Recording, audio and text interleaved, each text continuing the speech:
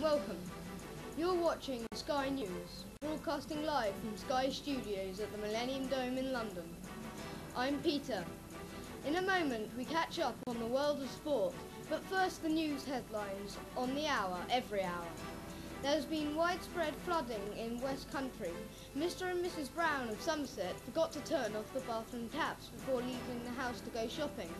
Mrs. Brown was said to have been in floods of tears when told the news. In central London, riot police had to deal with angry shoppers. The trouble started when toy shops ran out of stock of the new Geri Halliwell doll. The former Ginger Spice said she was delighted at the news that the mini Geri was selling just as well as the models of the other Spice Girls.